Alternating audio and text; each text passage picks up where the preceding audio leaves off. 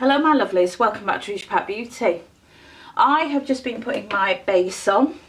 You've seen it all before.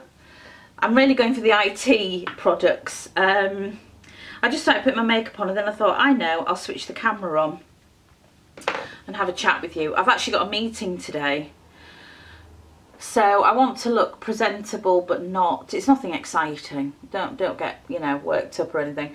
But I, I want to look reasonably presentable awake at least. I've not been sleeping well at all but last night I did sleep really well so I feel a lot better. If I have two or three nights of disturbed sleep it's not good for me. I'm a natural, I think I should hibernate basically.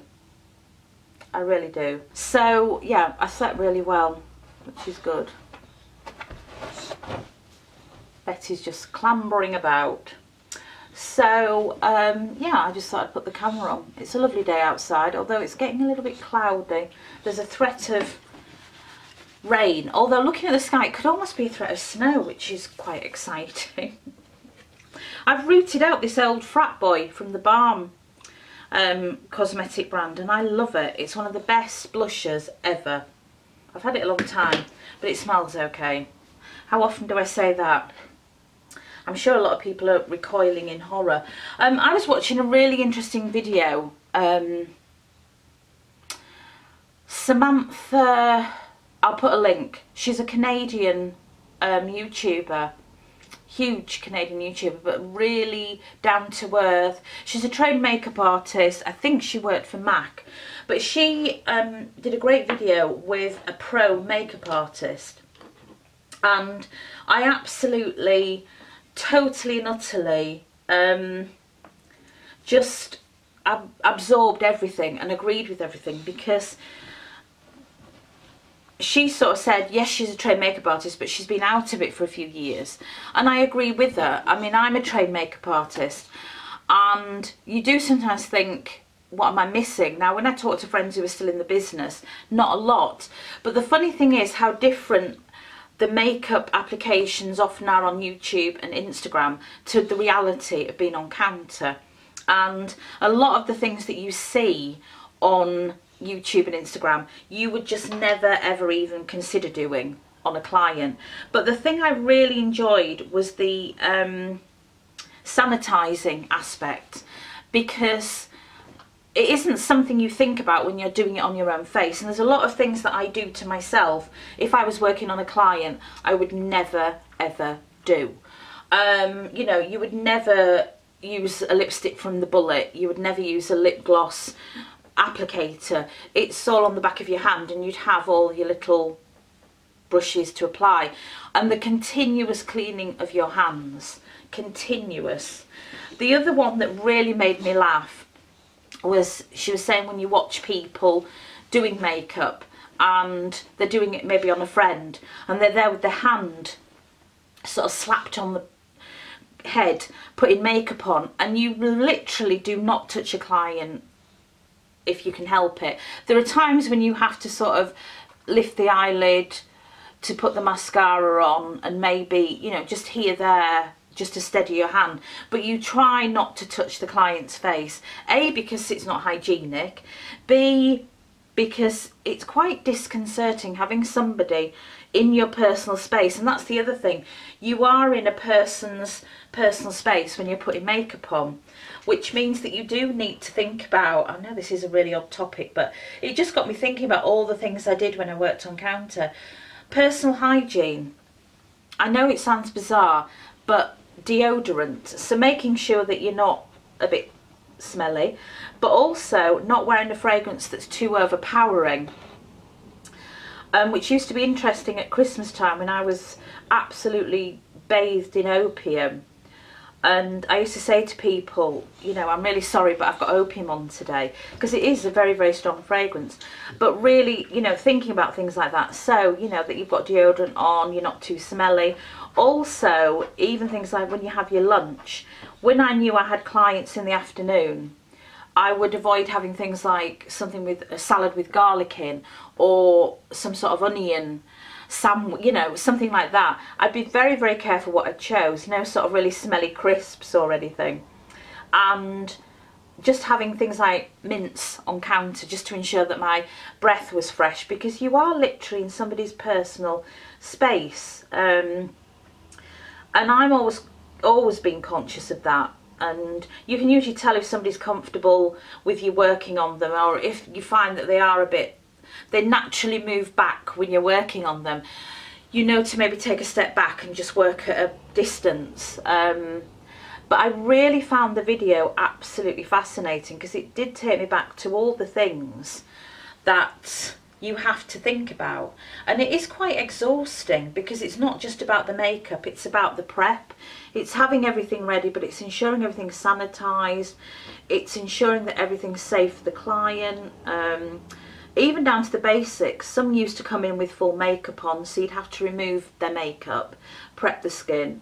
Some would come in with their skin bare but they hadn't got any skincare on so it's making sure you had all that ready as well and just your sort of space making sure that it's I always needed a very tidy space um, some of the girls could work in absolute mess and I don't know how they did it. I had to have everything lined up and I had to make sure lids were back on. It just kept me very calm and centred when I was working. I couldn't work with a busy counter, with a busy station at all. But there are so many things that I do that I would never ever do on a client. And I just wanted to say that um, because I'm sure people look and think, oh, I thought she was a professional makeup artist. But it's different when it's your own face. How I put my makeup on me is not how I do a client. I mean, I whack a lot of concealer on, I sort of throw it all on, but with a client, it would be, you don't want to take ages, but you want to have time. So if they were concerned about breakouts, it would be more precision covering rather than what I do to myself because I've said before, my own face actually bores me quite a lot. Um, but yeah, just things like the hygiene I found really, really interesting. And you do literally have to keep, you know, sanitising your hands, making sure everything's clean, you know, ensuring the products you're using, or the tops are clean, that you've got, you know, scrapers to scrape off the lipstick, and making sure your hands are clean because you work off the back of your hands a lot. And the biggie that a lot of people do, and I think the makeup artist that Samantha had was saying was she watches people go on their brushes. No. Tap the excess off. As soon as you blow on your brush, you know what I'm going to say, you've got, yeah, there's a bit of you there, a bit of your DNA on the makeup brush. So you never ever blow on your makeup brushes. That's a huge no-no. Now I think I was probably, I was quite lucky. I didn't really have any bad, bad habits um, when I trained, really. Some people, if they go into it later in life, have already developed these little bad habits and it's really hard to break. If you're used to sort of blowing your brush or something, it, it can get into a habit but I, I hadn't done that before so it was quite easy for me. But the blowing on the brushes, it does make me cringe when I see people do it on, on video.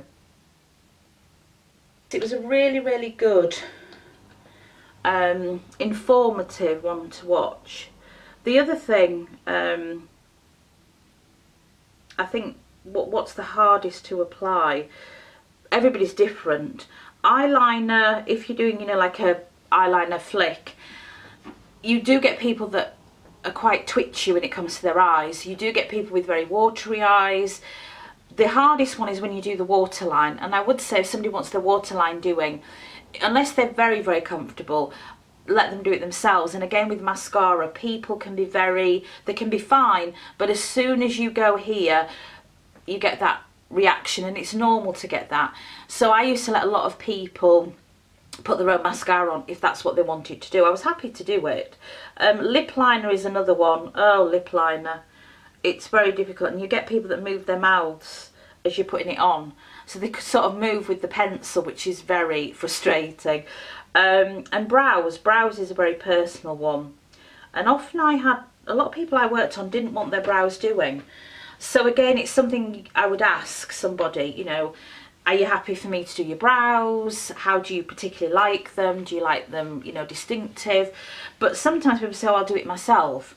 And often that's being a good makeup artist is giving people the freedom. It's not always about you putting it on. It's understanding and embracing what your client wants and needs. Um, on the eyes, I've just used the Effect Powder from Gosh. This is shade 3, 003, and it's Mink. That's all I've used. That's all I'm popping on today. Just enough. So yes, I really loved it, really enjoyed it and some of it made me smile because you do recoil when you watch some videos but you also have to understand that not everybody's had the training and also different brands have different training and different makeup academies have different training and you yourself find different methods that work for you. So I would probably apply mascara differently to somebody on the next counter or somebody that trained at so-and-so because you all have your own little ways that work best for you to getting products onto the face. This is the Charlotte Tilbury Colour Chameleon. I've been using it quite a lot. Is this dark pearl? Yes. Um, they do recommend this for brown eyes. It does have a sort of minky tone to it.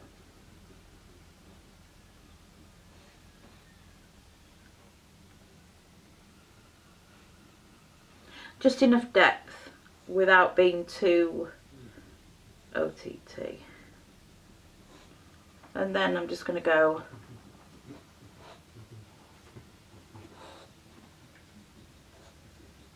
under there easy to do that without looking in the mirror. Just do it by touch. Right more gosh got the brow gel.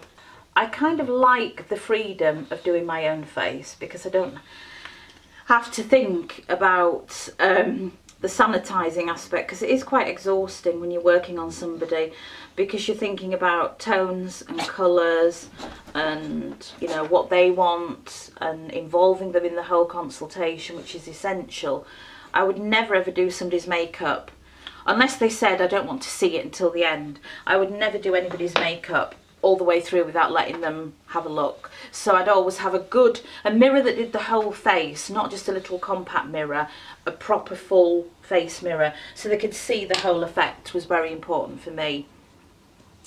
But it is, it's exhausting making sure that everything's right and you get into a routine so it is second nature um, because I enjoyed obviously the colour and I really enjoyed looking at somebody's blank face and thinking right we're gonna use that that that and that today. Um, I mean if you're putting mascara on a client you would never use the product like this so you don't and this is what's frustrating. So you would be saying to a client this is a really great mascara and it's got the most amazing wand because the formulation plays a big part but the wand is really you know the conductor's baton. And you'd be selling this mascara you know because it's brilliant like the false lash from Yves Saint Laurent which I absolutely I wore it every day. It was and I think it's still they still sell it. It's an amazing mascara and you'd be saying, you know, it's great, and it was, and the wand was just like a toilet brush. It was fabulous. It was just bristles, bristles, and more bristles. But on counter, you can't use it from the tube. It's not hygienic. So you just have the standard mascara applicator ones. And I, it just drove me mad. I used to complain all the time. How on earth can you give the same effect to the lashes when you haven't got the one that's the reason it's such a great application. You know, you'd have to say, here's the wand, but I'm going to have to apply it with this. So that's a frustration sometimes because having to be hygienic lets you down when you're showing products to customers. But you would never apply on a client from that. Right, I'm going to use, obviously, Frat Boy it's one of those pinks that just, it's just the right amount of pink. And when I started, we didn't have foundation brushes. I think it was Clinique that was the first brand that had the flat um, foundation brushes. So we did use our fingers a lot for application. There weren't as many options with brushes, although I loved I, it was very naughty of me. I used to borrow brushes from other counters. When I fell in love with the brush, I'd go and borrow one from Dior and then I'd nip across to Clinique and I'd have a couple from Chanel and I'd use them and I'd have to be very, it's very, very naughty because you're only supposed to use your own tools. But I loved using tools and I didn't use brushes for the job they were meant for, that kind of thing. But I do remember foundation, it was always hands because we didn't have foundation brushes at all. Um, and then Clinique brought them out and I was completely fascinated with these flat-headed foundation. I still got one.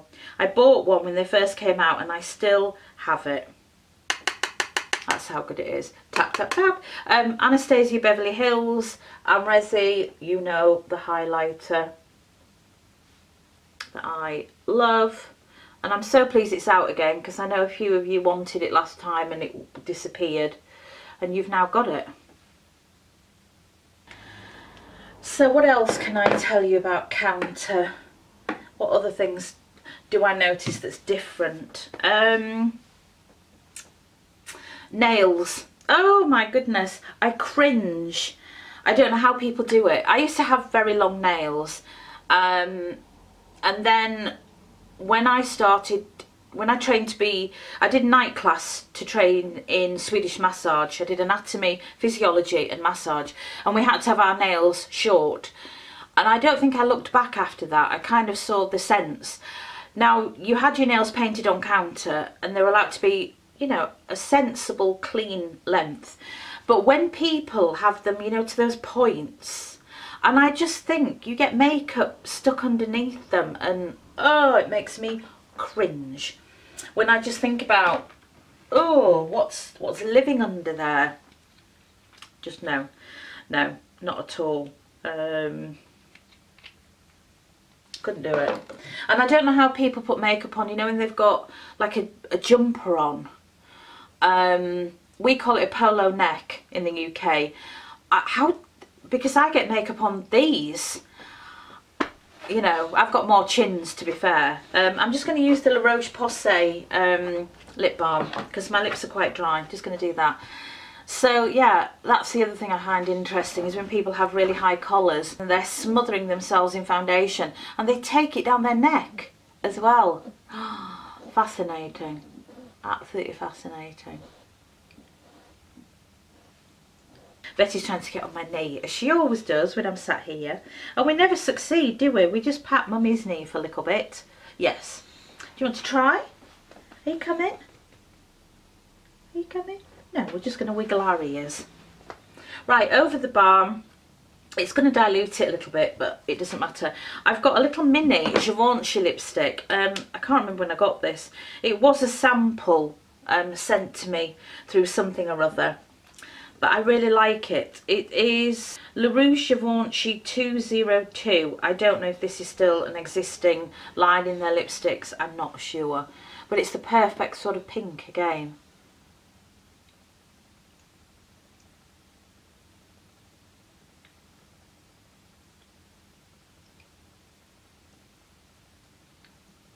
Betty's just sat right there watching me intently putting my lipstick on. Right, that's it. I just, oh no, I need to put some of my fairy godmother on from English Mineral just to set everything down. So yes, I'll put a link um, to the video and you can watch the pro in action and all the little things that that she does. I can't remember some of the other things that I was there going, yeah, I agree with that and I agree with that. Um, it was just really interesting to look at it in different ways. And I do know, I mean, I have friends who say to me, what the hell's all this baking business? Because it's just not something they do on counter. Um, and they're just like, and what's all this? Even when, you know, contouring came in. And they're just like, my God, you wouldn't spend all that time chiseling out cheekbones that don't exist. So it is interesting to hear both sides of it because I've done one side and then I'm in this side, I can kind of understand and balance it out. But friends who don't do the social media thing and then I say things or they've seen things and like, what the hell is all that about? I find it really, really funny. Um, because they're just like, my God, you just, people just want their face looking better than it already is, that's all. They don't come on counter and say, can you please chisel me out to look like Kim Kardashian or anything. Very rarely, apparently, does anybody ask to look like Kim Kardashian. There you go. Right, I shall leave it there. Betty's looking at me in the sweetest way, so maybe we'll get a little walk before Mummy has to do her meeting. Yes. She's all peepers. Her little eyes are all peepers. You can't be tired, baby. You've had a full night's sleep. Okay. And we've got some eye drops to put in as well. She's very good. She's very, very good. She takes medicine and all sorts of things without any problem. She's such a good girl. Aren't you? Yes, you don't fight us at all. Right, my lovelies, I'll leave it there. Thank you so much. Um, let me know what you'd like to discuss for Topic Tuesdays. I'm going to leave it to you. If I don't get any suggestions, I'm not filming them because I don't want to decide. because I can't think of anything interesting. So you choose for me. Not politics. Can we stay away from Brexit? I don't know enough, to be honest, um, to really have an opinion. I'm going to put some earrings in and do that. I can't put earrings in without a mirror. Is anybody else the same after all these years? I cannot put earrings in unless I have a mirror. The same with um, contact lenses. I can't put contact lens, I can't take contact lenses out without a mirror. I'm going to take the hair down. That's the other thing I can't cope with. I don't know how people put their makeup on when they've got their hair all over the place. I've tried it a couple of times and it just never works for me. I never feel right. I like it away from my face. Right, lovelies, I am definitely going now. See you soon.